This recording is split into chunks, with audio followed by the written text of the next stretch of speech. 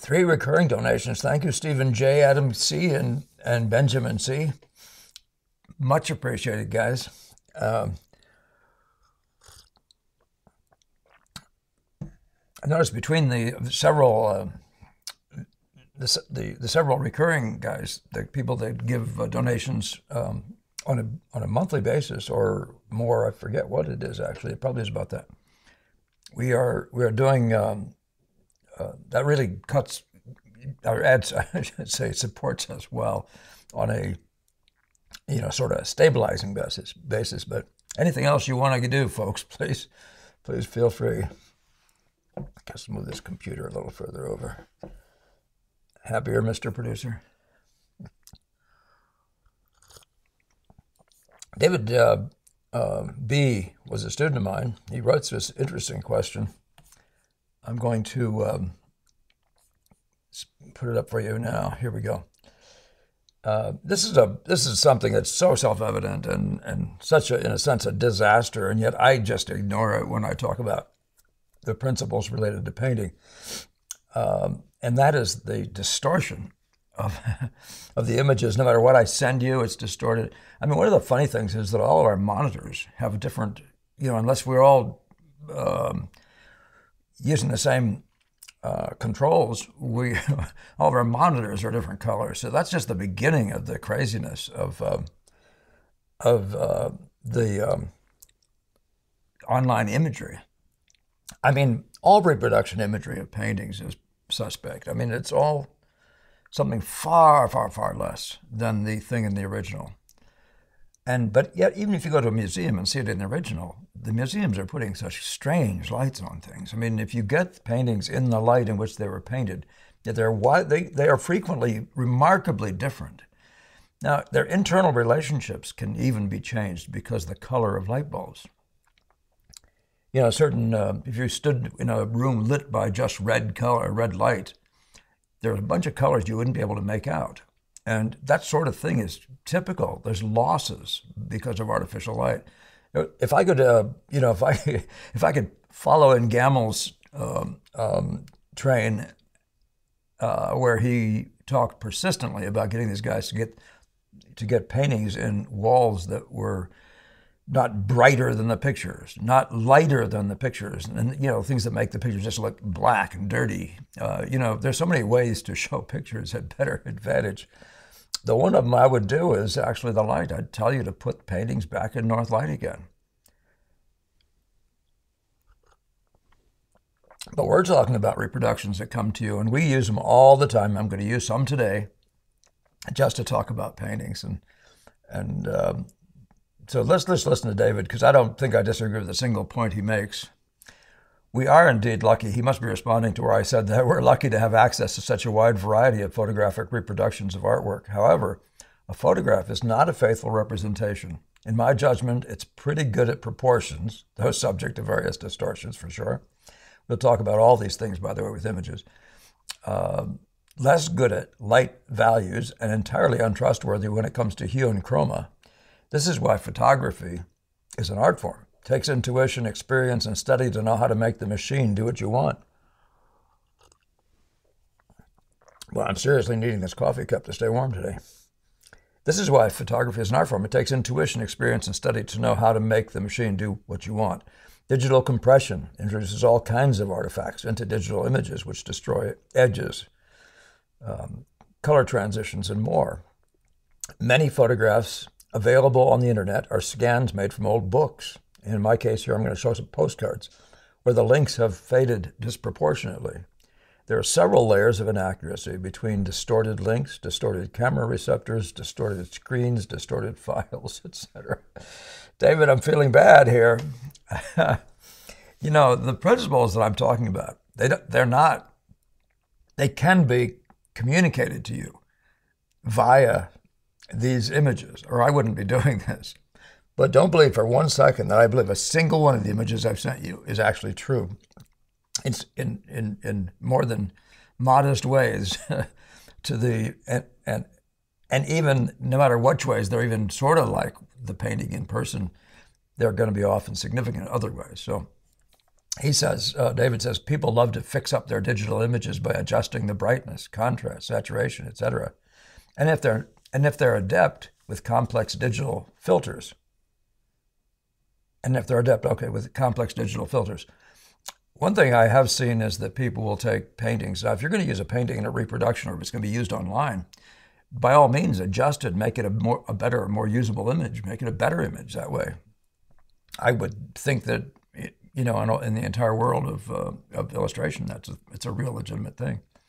But the painting itself, the idea of paintings themselves, and that's a discussion that David, David wants to bring up in a very different um, uh, way uh, in a second question, not for today. Uh, that is, what's the value of paintings per se? Why paintings instead of just images of paintings, for example? But almost all these fix-ups are lossy operations as they lose information. Most, if not all, images on the internet have no claim to authenticity, and it's not difficult to find two reproductions of the same painting which look entirely different. And I could add, both look very plausible too. This is not unique to the internet. Indeed, it's true of all types of reproductions that have ever been available, and that was a big discussion with Gammell himself, uh, with us. He would recommend the books that are using black and white images, but even black and white images are frequently bad. And we're talking about the values. But Gammell believed that the black and white, well, that, that certain black and white images were able to convey better the value scheme. Um, the the value, yeah. Let's leave it at that. Uh, so, other than perhaps the painted copy itself, so you know, reproductions, unless you have a painted copy, uh, I do have a couple painted copies, and they even they look like they're the interpretation of the painter. You start wondering about it. Um, um, the one I one that I've seen by A. Al Ripley, I believe, in um, who was a museum school student, uh, the copy by of, of the Velasquez looks so plausible. It looks like you could learn something from it. There's no substitute for seeing real pictures with your own eyes, especially well-crafted pictures, such as those of the Boston painters, where the pigments and mediums used have not been compromised. So, David, no disagreement, even the least bit of disagreement about anything you're saying. Uh, there's probably more that could be said. The biggest problem I have with what people are doing is that they try to, you guys out there are trying to use images online to paint from. And um, even photographic images, that's why I say there's so much of this stuff is distortion before you ever get a hold of it. And what, what difference does that make, except that you know, to the extent that you are my middleman, my interpreter of nature, the camera's already blocking you. It's already making you a lesser uh, um, um, uh, value as an interpreter. So, what can we safely learn? Here's David's questions. What can we safely learn from digital reproductions? You know, so everything that I talked to you guys about regarding the Boston School you can understand what I'm saying. I can show you edge relationships, for example. I can the relative visual order of a painting isn't going to change very much, but I can at least get it across to you. And there are numbers of things like that. I show you even in a painting, and I say it at times, even this painting, which may be far off, there still are chromatic differences in the in the painting itself that are that can be seen to be relationally um, that, that, that, that can be seen in a relational way. That's the kind of stuff that doesn't, it changes less. The whole thing is still distorted, but certain parts of that are changed less. I can't say though that it's that that I, am saying that when I talk to you about the way we work, you guys are picking up on what I'm saying. If you work in front of yourself with the data I'm giving you, the knowledge I'm giving you, um, and don't be thinking of anything about some. And that's why you'd want to drop photographs in the first place. That's one of the reasons work from nature because what I'm telling you is, is based on what we see when we look at nature with our own two eyes, not when we look through a, at a photograph. Uh, what should we try? What should we not try to learn from from them? Yeah, you, so you can't find exact color. You don't know what palette people use depending on what image you have. You could just be wildly guessing about the palette. You'd be, I mean, that sort of stuff is. Uh, a reason to copy in person is to, if you, for example, I've copied a number of pictures in two cases in which it was to find out what their palette was. One was a Bouguereau and one was a, uh, and one was a uh, Paxton. And uh, I found that what I couldn't, what I, I've said to you before, that what I couldn't copy in the Paxton, uh, with Gammell's palette, I definitely could do almost anything that was in the Bouguereau with Gammell's palette. But the Paxtons required an upgrade into the into more the cadmiums uh, to get the intensity of the reds, for example, in the face. But so don't try to learn that. You can't. You really can't learn edges either. Reproductions are so little until you see a thing at full size. You don't really. Know. That's why I say about the Bargue thing. The Bargue. If you guys are looking at little reproductions and drawing them with pencils, that's not. That's not. That's not what nature. That's not what this guy's working with. You'll have a whole different set of ideas. But you would still say that on the whole, that reproduction has certain relationships that you might be able to. You might. You, you might be able to learn something. You know, you can always copy, but but copying a painting done by a painter has so much more data for you to to develop with, you know, to develop your skills with. If you're not if you're not moving paint around the way they moved it around. What was that? I was uh, I was reading recently um, uh, a conversation about Bellini having run into Dürer, and Dürer had painted hair. These these these what appeared to be like the lines of this the very specific hairs and, and, and Bellini wanted to know if he had a brush for hairs. He wanted to own it. Would he sell him his hairbrush?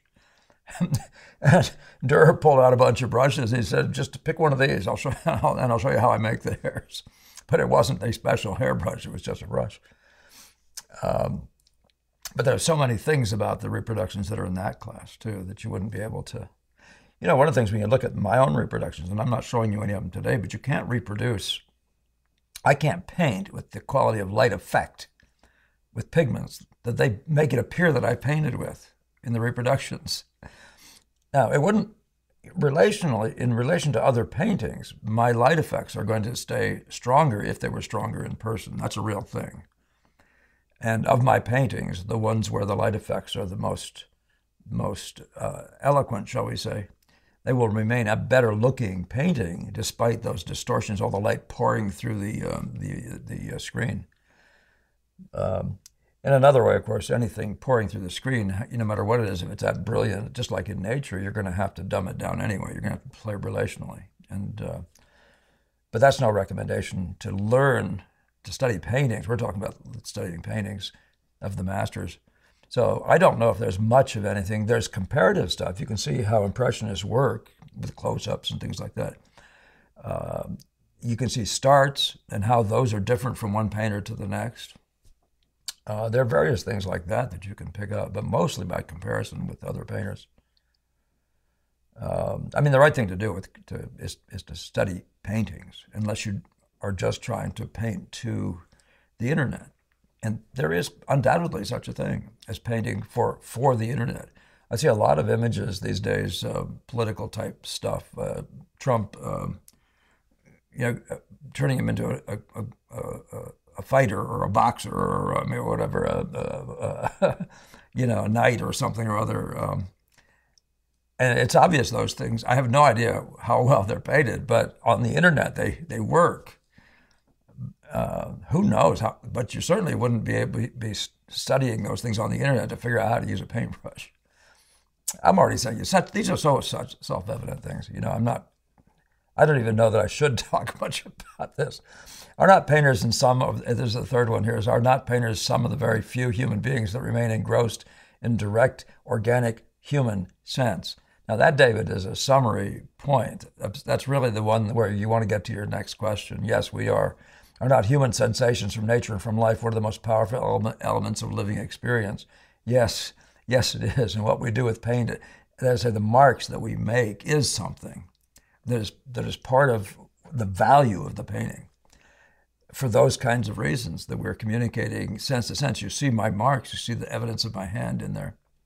So it's not just the image and a story or narrative. You know, the illustrator has that advantage in the fact that, as I show early in, in a minute, uh, that he's telling you a story, just narrating something essentially, and it, the, the, everything about the paint becomes a very secondary thing.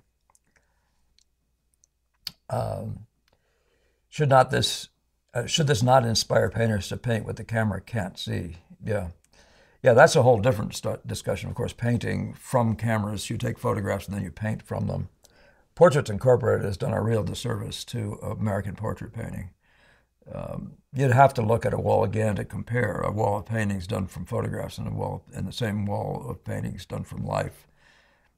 Look at a Velasquez, for example, and then look at almost anybody painting today, and you you, you there's there's something very um, very different in, in in what you in the connection. It, uh, Rembrandt's the same way. I think one some of the reasons we like people like Sargent who who you know move the paint and where the brush marks can be seen and all that sort of stuff is because of photography.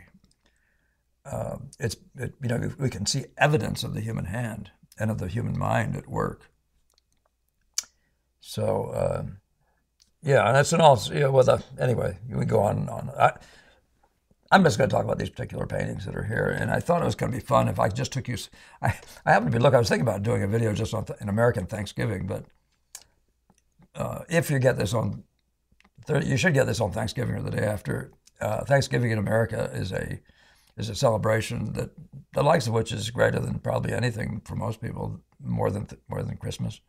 And I don't mean because of the Christ issue story, but just simply because it's this wonderful feast day that doesn't doesn't all this, you know, but it's more about family and doesn't involve the attachment of, uh, of presents and Santa Clauses and, uh, and other things, church services even. Um, Jennie Augusta Brownscombe is a very interesting story. I think she was I think she was born around 1850 or so. So, but um, but she was actually the, a woman associated with the creation of the Art Students League, uh, 1905 or something like that. I didn't know that she was one of those women who went over to France and studied over there. Um, oh, I should be able to tell you who she worked with. Oh, it's sad. I'm, I'm sorry, I can't. But there she is, like like like um, 40 some years older than Gammell older than the Boston School guys by 15 years or whatever, somewhere in that range. Um, but here you can plainly see three different uh, colored paintings, her paintings. Now, before I go any further, this one here has obviously been cropped. Um, uh, this one, I guess, too. Look how much more sky there is. So what cameras can do, and what the what the internet's been doing, is stretching images, and that's something that's easy to miss on. But you'll that stuff distorts the com- the drawing, it distorts the composition, has all sorts of negative effects. But possibly to me, the most um, pernicious one in terms of studying this kind of work is, you know, did, did this person paint an autumnal orange picture? This is a post from a postcard, by the way. Or was it a, or was the light, uh, backlight, the atmospheric light like this? Or was it more inky like this? But which one is it? Now, by the way, one of the things I've said before is sometimes the internet produces an image that's even better than the one in nature is by chance. And in theory, you could mess with your own stuff that way and try to find best uh, some some sort of alternative um, uh, color schemes and things like that. I'm not I'm not suggesting that I've I've thought anything like that through. I probably shouldn't even say it, but the but the but this is just an example of the immediate thing that happens uh, right away this is a cooler picture by a lot. That's halfway in between. This is a hot painting. I mean, those are three wildly different paintings. What could you learn from those guys about the color palette that the guy used, for example, uh, the woman used? And this guy, J.L.G. Ferris, her, his father was a student of Gérôme's, I guess, and um, J.L.G. is literally Jean Leon Gerome Ferris. Uh, but he painted maybe a hundred American history type paintings, and this is one of his, where exactly the same thing has happened without apology, right? And maybe this one is even cropped too, but you can see the bucket is cropped in this one. Uh, and again, these images, see how the trees are cropped completely out, the building is cut down right down to about this level. Um, you can see that this is a wildly cooler picture. You can see this one is a fuzzier picture. It's out of focus, maybe a little bit and this one looks like it's uh, it's it's and one of the things that photographs do in a way in the modern photographs is rather miserable to me is they hyper contrast, they create hyper contrast, and that gives a feeling that little littleness of marks, the littleness of uh, of detail is characteristic of the painting. That's definitely something you couldn't learn from a from looking at these things. Um, you know, breadth is a very difficult thing to pick up when somebody's exaggerating contrast. So um, now here's Leyendecker. remember the um, the uh, the American um, uh, Thanksgiving uh, is based on the I guess Plymouth colony story. Thanks to the Indians, this group of of uh, of, um, of uh, Europeans came over. Thanks to the Indians, they survived. That uh, went the, the first winter, the crucial winter. They didn't seem to know much of what they had to do. A lot of them were just simply refugees. Uh, so that story, you know, there's there was a, a famous Thanksgiving. It really did happen, where Indians did get together with the uh, with the Puritan uh, forefathers, and um, so these kinds of stories. This is this very makes it picturesque. The the Indian and the and the um, in this case the fat Puritan. Uh, uh, what's this guy's name? Was it Squanto? Um, uh, wish I could remember the name of the Indian that really went out of his way to help even wound up, I think, going to Europe, maybe if I'm not mistaken. In any case, though, you're seeing this in context of a of a where it actually wound up on a on a on a, a magazine cover the Saturday Evening Post. And here's a different version where it's far less white, far less lit. Now, which one of these is true? This one, the darks and light, the contrast is greater. Um, you can see the details, but again, there's a relative blueness to this one, a relative warmerness if you just look at the baskets to this one. This is not, it's not reliable at all. Now, as David says, the shapes are still there. Um, their significance in relation to each other might be dimmed or might be affected by, you know, like an exaggerated highlight or something like that. They might, the whole composition might be affected by that. So that's another one of those things you can't know. I'm not, by the way, not trying to tell you how to how to manage to use a picture because I don't think you ought to use one. I think you, but I do think you want to find out how to maintain a, the unity of your own impression as the basis of your beginning to even do ima- imaginative work like this. Leyendecker was, um, I think he was born in the 1870s. Um, all before, well, that would have been the, after the Boston School by a little bit. Um, Ferris, I think, was Oh, golly. Ah, I wish I could tell you. I, I, honestly, I've, I've lost that one. I don't know where. I don't know what his dates are. When you get to N.C. Wyeth, um, Wyeth was born in the 80s, the 1880s sometime. But look at these two. Look at the vagueness of this one here, very washed out and all that sort of thing. And look at this one, very rich. Um, you know, the, the, camera can juice them up. It can take the life out of them. You can see that even in movies sometimes. Uh, so which one is which one is the one you're going to learn from N.C. Wyeth from? It doesn't mean that at times a more wistful look like this is being conveyed and projected, and that's why I say there's no reason not to have that ability when you're making illustrations to adjust your your image that you're going to have them use uh, if you find it's more expressive of your of your storyline, which is what the whole thing is about anyway. Um, but if you're trying to understand N.C. Wyeth, I don't know which one of these is, is more true. My suspicion is that it's neither one, but maybe this one, based on what I've seen in person. I don't know why this is a vignette, so it must have been to do with the way the thing was used. But again, you can see that somebody has cropped it differently so that it isn't a vignette. Now, it's a finished picture. It's been cropped at the ends. You can see way over that tree right there uh, is the end now of this picture. So they're trying to use this in the carrying of this thing as the center of interest. Maybe it is over here a little bit too, but she's past center traveling out out of the picture. So the whole composition is altered in significant ways. It does affect the color scheme. The oranges over here are definitely part of the of the distribution of the oranges, uh, the way it was designed, and so on. But yeah, you can see the chroma is just lost, tons of chroma. If this is if this is the second, the least of the two or has chroma been added? One of the things I don't like about modern photography is how the photographs tend to juice up the reds. I don't know what that is. Norman Rockwell painted several, um, um, and I, I want to say he was born. Uh, when was he born? He was also born before Gammell, but how much before? Ooh, I don't know. Um, but photography by this time was heavy in, in his work. The use of it for trace, you know, the, it looks like he's literally traced, image, traced uh, things. Um, but again, you can't see much. This this is all totally washed out. The lights are really washed out. They've changed. All, the whole picture is warmer, and everything is about the featuring of these people here in a wholly different way. The, the life in the chroma here, look how different it is from this one, which is true. You can't tell. There's no way in the world to tell. Um, why do you want to know which is true? Well, if you try to learn from somebody, you want to know what he really did. Uh, there are things that happen in paintings that reproduce better. There, that's certain painters' work. See, it looks better in photographic reproductions frequently. And uh, so, for that reason, you might like to know what somebody did in their in their actual work too. But but you can see real color back here in the background. You can see her her she doesn't isn't wearing a faded dress in this picture. She's wearing a decidedly blue dress.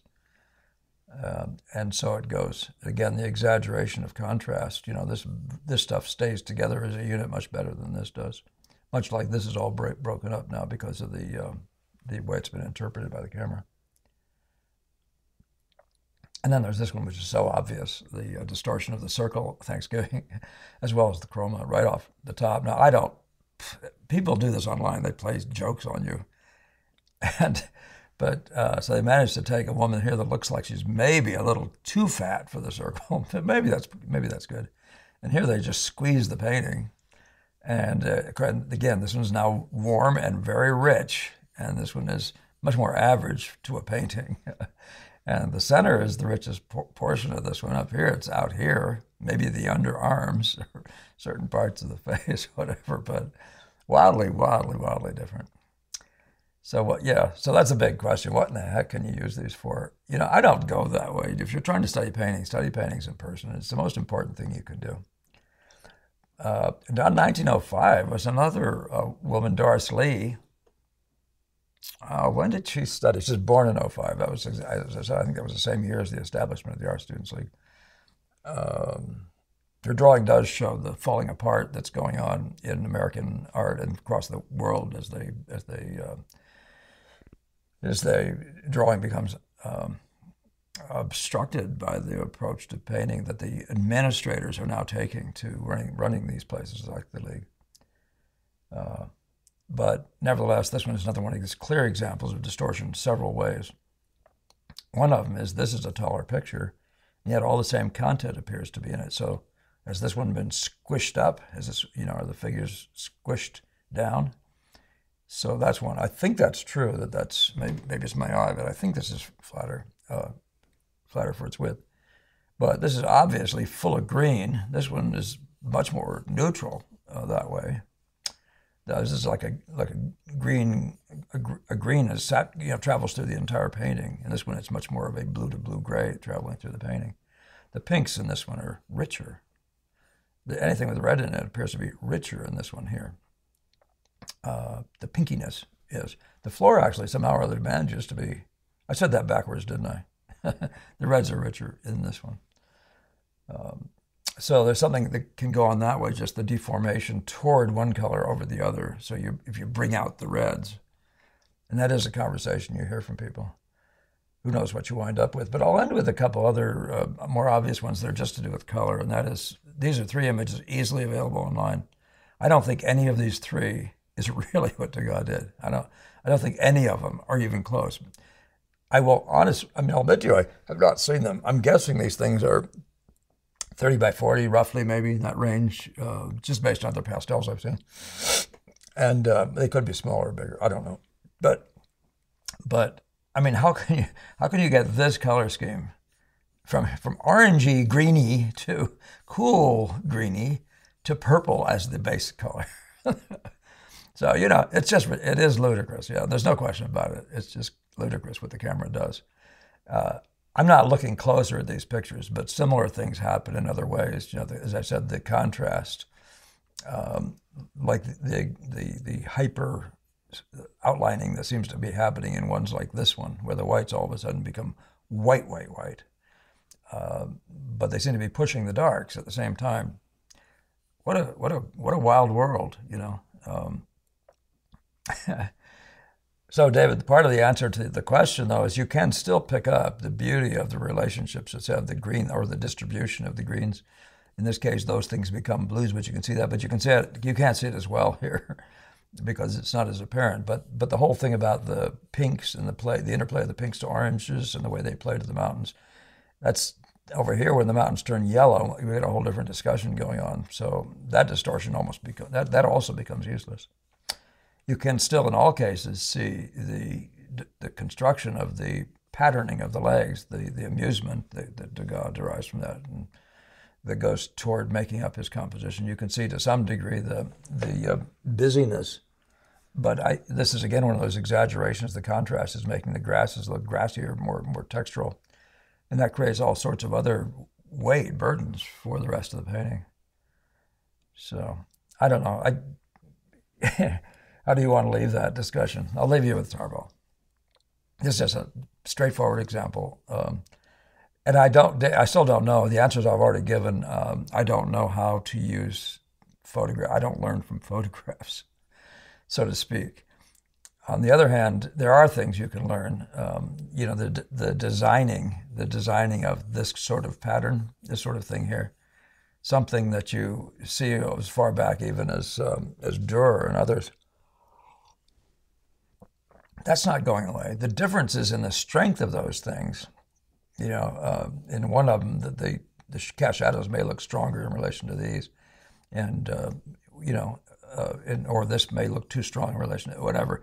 It's hard to tell. Um, but there's there's so much other information. For example, how busy are the marks through here? How much, tex- much texture is that, or how smooth is it? These are big deals. How much, how broken is the water, or how smooth is the water? So you don't even know what he, what he, um, how he, you don't know Tarbell by looking at these pictures. Let's put it that way. But compared to other painters, you can know Tarbell. You know, and that is a thing. It's, it's, it's at least something about different kinds of painting.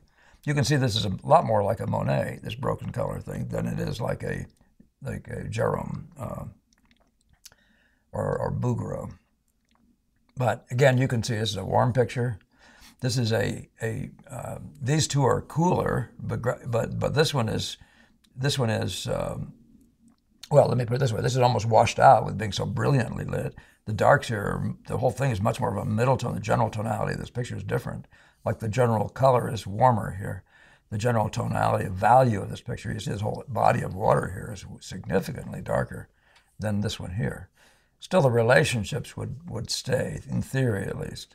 Or would they? But again, the camera can distort that. So here the grass is very, very rich. And is it, you know, the greens now appear to be rich, relatively speaking, in this one.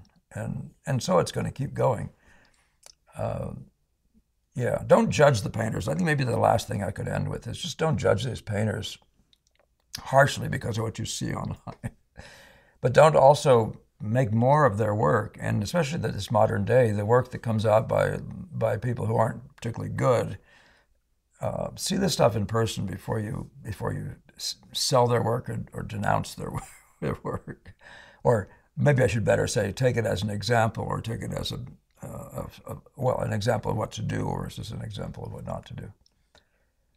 So, but that's just the run through. You know, I, I do believe this stuff is more self evident than anything else. You know that you're painting. But, David, let's have another discussion another day, and I think you do it maybe another question about the value of the paint itself, the person, the hand, the evidence of the hand, the fact of the object, like it is an artifact. It's not just an image, it's an artifact. It's actually a, an object of art. It's a it's a craft piece. And, um, and does that mean something? How much of that is really significant?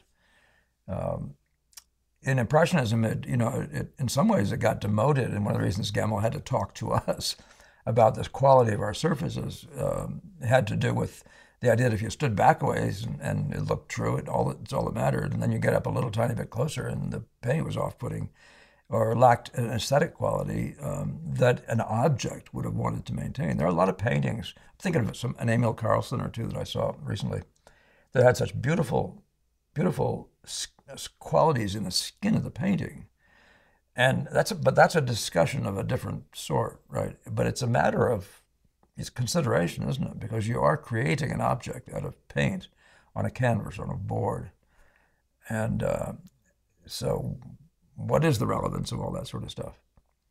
But yeah, so my my final point is that you probably can learn from these from reproductions online. You can see the the the, way Rembrandt went from being this kind of a painter evolving into that one. You can see the same thing with Velasquez. You can see the, the you can see the history of painting has as certain things developed from say pre-Renaissance right through the Renaissance up till today. You can, but you know with this wonderful side-by-side thing, you can see the evolution of of of, uh, of information of um, skills and things like that. So there's lots you can see. But if you asked about a single painting online and said, Can I copy that and make use of that to learn from? I'm as hard pressed as David to not know precisely what to tell you. What can you learn from that? Um, if, to the degree you can get one that's the you know that's pretty proximal to nature, uh, you can use it for judging um, uh, certain kinds of relationships, especially those that appertain to um, to composition. But you do have to be hugely aware of of the um, you know the cropping thing that we talked about. You know this this is a way you see this is cropped right right right just above this here, and right here. So they've cropped out. You know, gee, it's close to half the painting is missing. And they've done the same thing on both sides with the idea of featuring the children in the middle, which for illustration purposes is, is, is obviously something you might do, or for, for uh, trying to preach about something that a painter is doing, you can talk about it. What we do online is primarily about based on using an image as a as a platform from which to discuss ideas rather than to make us copiers of some specific thing that a guy is actually doing in paint. So if you keep that, remembering that, I can show you methodologies. I can show you differences in methodologies by showing you images. I can show you steps in evolving a painting, and that's all that stuff is uh, uh, obvious, is obviously communicable. Um, so uh, by by means of the internet, even when I do my, my own images, um, when I'm doing a demonstration and the images are shot every hour or two or something like that, it blows my mind how different the shots are coloristically, just coloristically, sometimes values too, from each other.